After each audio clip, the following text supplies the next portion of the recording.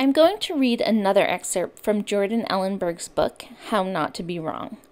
I like this story because it takes something that doesn't seem very mathematical on the surface, but it demonstrates how mathematical thinking worked behind the scenes to fix a problem. The hero of this story is Abraham Wald, a Jewish mathematician who helped the U.S. during World War II. This is the story of Abraham Wald and the missing bullet holes. Abraham Wald was born in 1902 in what was then the city of Klausenburg, in what was then the Austro Hungarian Empire. He was the grandson of a rabbi and the son of a kosher baker, but the younger Wald was a mathematician almost from the start.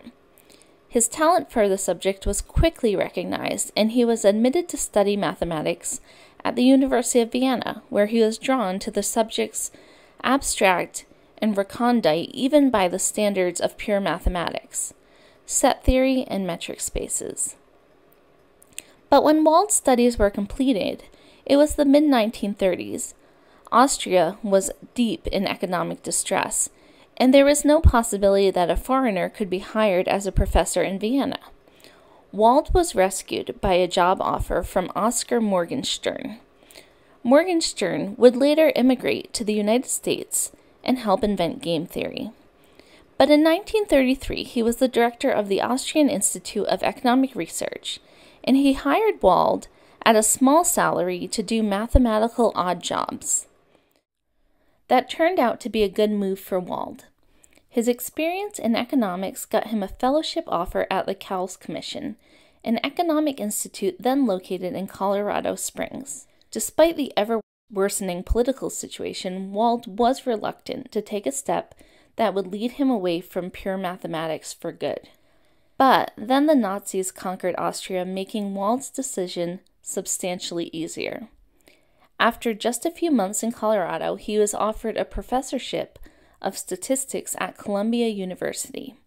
He packed up once again and moved to New York, and that is where he fought the war.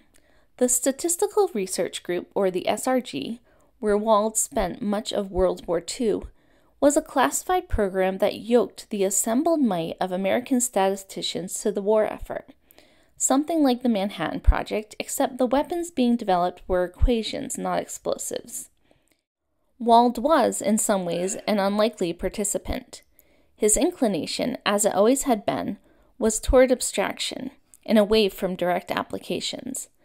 But his motivation to use his talents against the Axis was obvious, and when you needed to turn a vague idea into solid mathematics, Wald was the person you wanted at your side.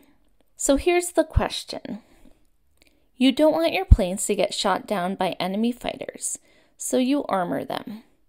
But armor makes the plane heavier, and heavier planes are less maneuverable and use more fuel. Armoring the planes too much is a problem. Armoring the planes too little is a problem. Somewhere there's an optimum. The reason you have a team of mathematicians socked away in an apartment in New York City is to figure out what that optimum is. The military came to the SRG with some data they thought might be useful. When American planes came back from engagements over Europe, they were covered in bullet holes, but the damage wasn't uniformly distributed across the aircraft. There were more bullet holes in the fuselage, and not so many in the engines. So, the data that they presented is as follows this is the section of the plane versus the bullet holes per square foot. So the engine had 1.11 bullet holes per square foot. The fuselage had 1.73, the fuel system 1.55, and the rest of the plane had 1.8 bullets per square foot. The officers saw an opportunity for efficiency. You can get the same protection with less armor if you concentrate the armor on the places with the greatest need, where the planes are getting hit the most but exactly how much armor belonged on those parts of the plane. That was the answer they came to Wald for. It wasn't the answer they got. The armor, said Wald, doesn't go where the bullet holes are. It goes where the bullet holes are not, on the engine. Wald's insight was simply to ask, where are the missing holes? the ones that would have been all over the engine casing if the damage had been spread equally all over the plane. Wald was pretty sure he knew. The missing bullet holes were on the missing planes. The reason planes were coming back with fewer hits to the engine is that planes that got hit in the engine weren't coming back, whereas the large number of planes returning to base with thoroughly Swiss cheese fuselage is pretty strong evidence that hits to the fuselage can and therefore should be tolerated. Here's an old mathematician's trick that makes the picture perfectly clear. Set some variables to zero. In this case, the variable to tweak is the probability that a plane that takes a hit to the engine manages to stay in the air. Setting that probability to zero means a single shot to the engine is guaranteed to bring the plane down. What would the data look like then? You'd have planes coming back with bullet holes all over the wings, the fuselage, the nose, but none on the engine. The military analyst has two options for explaining this. Either the German bullets just happen to hit every part of the plane except the engine, or the engine is a point of total vulnerability. Both stories explain the data, but the latter makes a lot more sense. So the armor goes where the bullet holes are not. I can't tell you exactly how many American planes they saved, though the data slinging descendants of the SRG inside today's military no doubt have a pretty good idea. One thing the American defense establishment has traditionally understood very well is that the countries don't win wars just by being braver than the other side or freer or slightly preferred by God. The winners are usually the guys who get 5% fewer of the planes shot down, or 5% less fuel, or get 5% more nutrition into their infantry at 95% of the cost. That's not the stuff war movies are made of, but it's the stuff wars are made of. There's math every step of the way. So, why did Wald see what the officers, who had vastly more knowledge and understanding of aerial combat, couldn't? It comes back to his math trained habits of thought. A mathematician is always asking, What assumptions are you making? Are they justified? This can be annoying, but it can also be very productive.